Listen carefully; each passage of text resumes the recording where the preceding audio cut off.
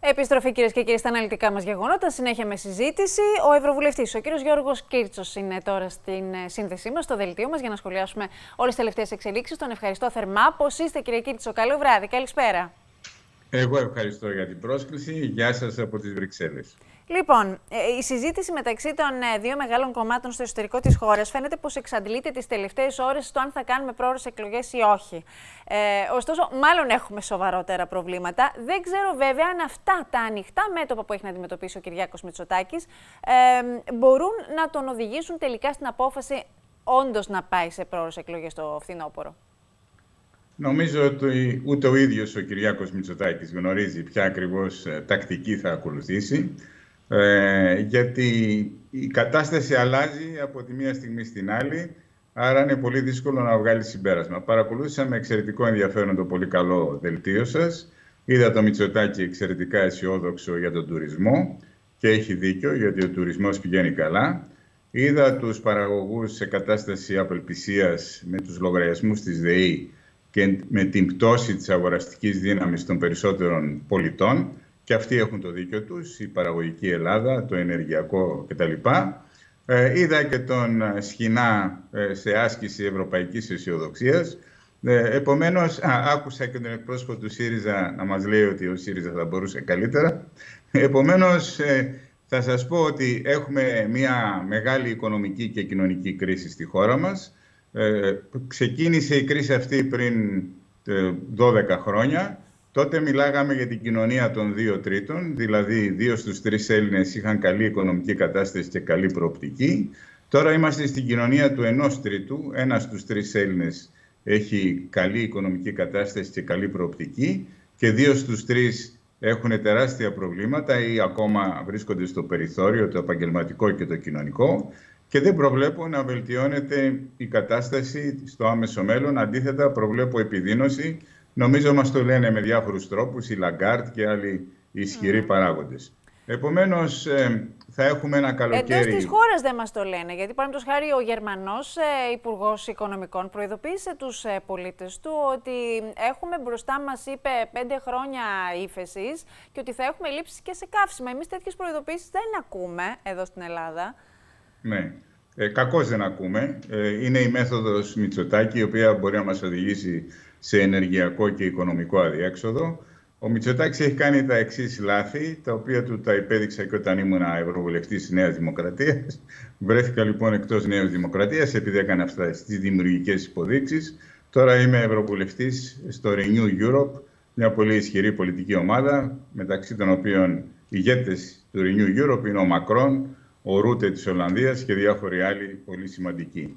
Ε, επομένως, ε, ο Μητσοτάκης μας πήγε σε μια βίαιη και πρόορη απολιγνητοποίηση, πιστεύοντας στο φυσικό αέριο. Το φυσικό αέριο αποδείχθηκε οικονομική και ενεργειακή παγίδα, είναι εξαιρετικά ακριβό. Τώρα μας εκβιάζουν και οι Ρώσοι με το φυσικό αέριο ε, και ψάχνουμε για υγροποιημένο φυσικό αέριο που είναι ακριβότερο από το ρωσικό φυσικό αέριο. Ε, και με το πέρασμα του χρόνου έχει δημιουργηθεί μια εξάρτηση και της οικονομίας αλλά και του ίδιου του Μητσοτάκη από ένα πανίσχυρο λόμπι των λεγόμενων αεριούχων, ο όρος είναι δικός μου, οι οποίοι προσδιορίζουν τις τύχες της, ε, του ενεργειακού τομέα και της οικονομίας. Είναι φανερό θα, ότι θα έπρεπε να ακολουθήσουμε το παράδειγμα των Γερμανών. Τι κάνουν οι Γερμανοί, πηγαίνουν πίσω στον άνθρακα, η πράσινη Γερμανία, γιατί το κόμμα των Πρασίνων συμμετέχει στον κυβερνητικό συνασπισμό. Αυτή τη στιγμή, ή μάλλον από το τρίτο τρίμηνο του 2021, 30%, της ηλεκτροπαραγωγής στη Γερμανία είναι με άνθρακα. Ε, το δικό μας ποσοστό είναι μονοψήφιο, είναι 5, 6, 7% την ημέρα. Αυτή τη, ε, προχθές ο αρμόδιος υπουργός είπε ότι θα αυξήσουν την ηλεκτροπαραγωγή με άνθρακα 30%, δηλαδή θα την πάνε γύρω στο 40%. Εμείς λοιπόν έχουμε το αντίθετο από τους Γερμανούς. Αυτοί έχουν 40% παραγωγή από άνθρακα, ηλεκτρισμού και 14% με πτωτική τάση από φυσικό αέριο. Εμείς έχουμε με επιλογή Μητσοτάκη 4 έως 8% συμβολή του λιγνίτη που είναι και εθνικός πλούτος στην ηλεκτροπαραγωγή και 40 έως 55% συμμετοχή του φυσικού αερίου, δηλαδή Μητυλνέος Περιστέρης, Φαντς ΔΕΗ κτλ. Ε, στην παραγωγή ηλεκτρικής ενέργειας. Γι' αυτό λοιπόν έχουμε την ακριβότερη ηλεκτρική ενέργεια. Γι' αυτό είμαστε ελάχιστα ανταγωνιστικοί και γι' αυτό τραβάνε η παραγωγή που δείξατε τα μαλλιά τους. Τώρα, ε, αν αυτό άρα πρέπει να θυσιάσουμε το κλίμα, τις συνέπειες της κλιματικής αλλαγής μπροστά στο βωμό της ακρίβειας, ε, κύριε Κίτσο, εδώ που φτάσαμε με αυτό το πόλεμο όχι, στη γειτονιά ε, όχι, αυτά είναι ψευτοδιλήμματα Μητσοτάκη. Ε, θα σας πω το εξής. Δεν τα βάζει σήμερα... μόνο ο κύριος Μητσοτάκης, τα βάζουν και άλλοι ηγέτες στην Ευρωπαϊκή Ένωση. Και λάθη δεν κάνει, κύριε Κίρτσο, μόνο ο κύριος Μητσοτάκης. Κάνει η Ευρωπαϊκή Ένωση που καθυστερεί επίσης να πάρει αποφάσεις ε, όλο αυτό το διάστημα ε, για να αντιμετωπίσει αυτή την κρίση. Εντάξει, καταρχήν εγώ είμαι ειδικός στα λάθη του Μητσοτάκη. Ε, αλλά, εν πάση περιπτώσει, θα συζητήσουμε και για τους άλλους ηγέτες. Θα σας πω το εξής, ότι σήμερα ψηφίσαμε ε, την πράσινη μετάβαση στο Ευρωπαϊκό Κοινοβούλιο.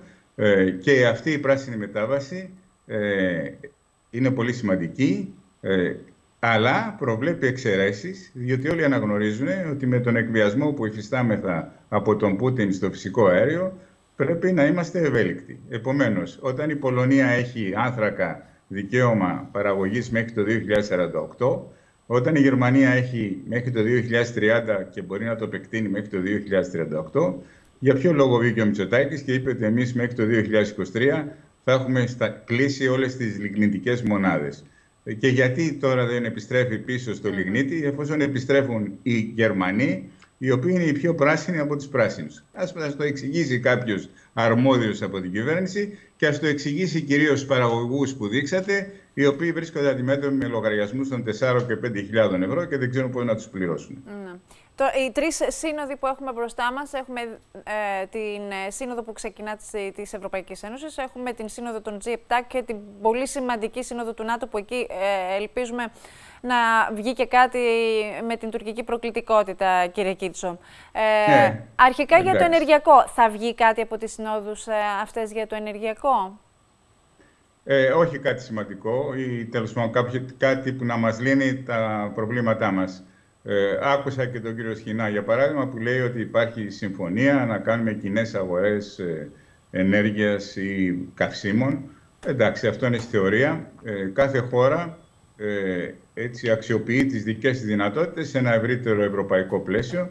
Είναι χαρακτηριστικό ότι η Γαλλία που είναι πολύ δυνατή στα πυρηνικά, στην παραγωγή ε, ηλεκτρικής ενέργειας από πυρηνικούς ε, σταθμούς, ε, δίνει μάχη για την αναγνώριση της πυρηνικής ενέργειας σαν πράσινης ενέργειας, το οποίο είναι εντυπωσιακό αν σκεφτεί κανείς τους κινδύνους της ε, πυρηνικής ενέργειας. Εμείς λοιπόν, αντί να δώσουμε μία μάχη προσαρμοσμένη στα εθνικά μας χαρακτηριστικά, δίνουμε μία μάχη υπέρ του υγροποιημένου φυσικού αερίου και υπέρ συγκεκριμένου λόμπι. Θα σας πω το εξής, ότι θα έχω καλύτερη εικόνα αύριο γιατί στο ε, Renew Europe, στο οποίο βρίσκομαι τώρα, ε, που είναι οι φιλελεύθεροι και οι Μακρόν, έχουν πια καλύτερη αντίληψη για την οργάνωση και αύριο οι ευρωβουλευτές είμαστε καλεσμένοι σε δείπνο, που θα είναι και οι ηγέτες, οπότε εκεί θα έχουμε μια ανταλλαγή απόψεων με τους ε, συμβούλους τους, ενδεχομένως και με κάποιους ηγέτες και θα έχω μια συνολική εικόνα. Τα προβλήματα που αντιμετωπίζει ο Μακρόν δεν, δεν αλλάζουν λίγο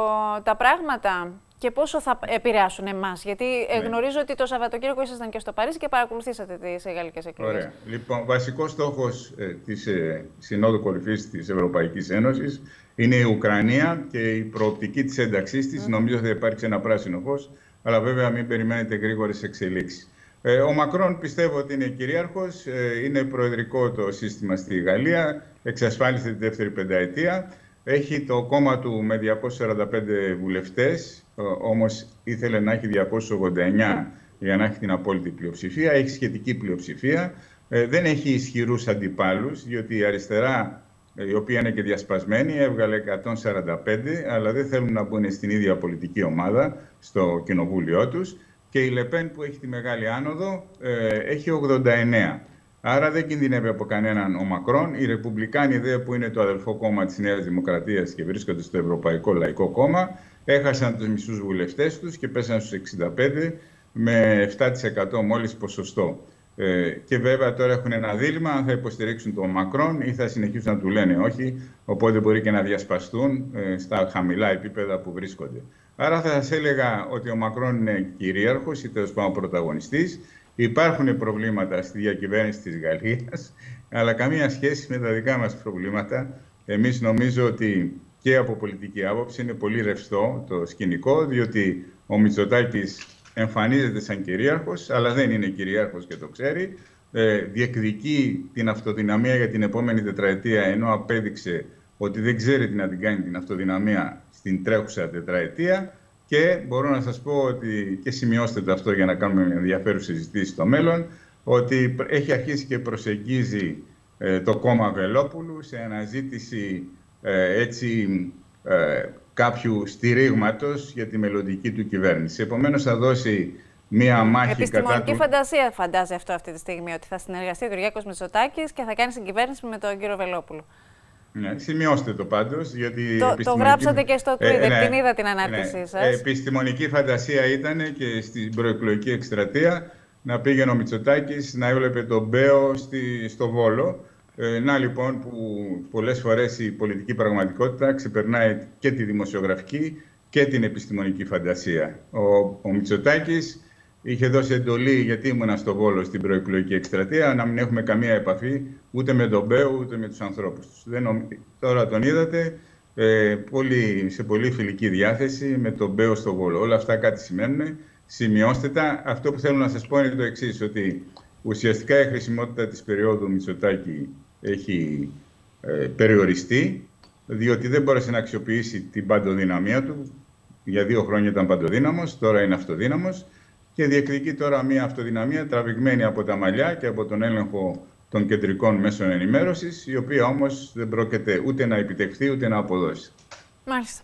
Σας ευχαριστώ για απόψε. Είναι πολύ κρίσιμο και πολύ ενδιαφέρον το επόμενο διάστημα, έτσι, με σοβαρές εξελίξεις σε όλα τα μέτωπα. Ναι, αυτό που θα ήθελα να πω τελειώνοντας είναι ότι ο πόλεμος στην Ουκρανία δεν πηγαίνει καλά για την Ευρωπαϊκή Ένωση, διότι οι Ρώσοι έχουν καταλάβει ήδη το 20-25% του εδάφους της Ουκρανίας. Δεν πρόκειται να φύγουν από εκεί, γιατί είναι ρωσόφωνοι, οι κάτοικοι θα προτιμήσουν τους Ρώσους, ε, είναι πυρηνική δύναμη η Ρωσία Επομένως θα έχουμε μια πληγή ε, στην, ε, στο, στην καρδιά της Ευρώπης. Η Ευρωπαϊκή Ένωση δεν πρόκειται να κάνει πίσω, ούτε οι Ηνωμένες Πολιτείες, διότι θεωρούν ότι μπορεί να έχει επόμενο στόχο την Οδυσσό, ο Πούτιν, να έχει επόμενο στόχο τη Μολδαβία ή τη Λιθουανία.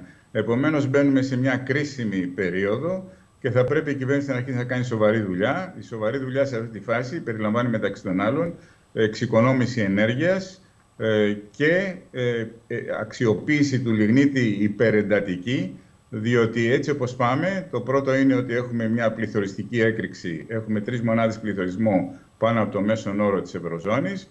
Το δεύτερο είναι ότι έχουμε την άξη στον αέρα το εμπορικό ισοζύγιο, έχουμε αυξήσει το εμπορικό έλλειμμα κατά 80% σε σχέση με πέρσι. Το τρίτο είναι ότι αυξήσαμε τα λεφτά που δίνουμε στον Πούτιν, δηλαδή του δίνουμε κάθε μήνα με βάση τα στατιστικά στοιχεία της Ελστάτ τα διπλάσια λεφτά για να κάνουμε εισαγωγές φυσικού αερίου και πετρελαίου από ό,τι του δίναμε πριν από την εισβολή, δηλαδή επιδοτούμε την πολεμική μηχανή του Πούτιν. Συμβαίνουν τρελά πράγματα στη χώρα μας και θα πρέπει να αρχίσουμε να βάζουμε κάποια τάξη. Ευχαριστώ κύριε Κύριε. Ευχαριστώ θερμά για απόψη για την παρέμβασή Καλή συνέχεια. Γεια χαρά σας.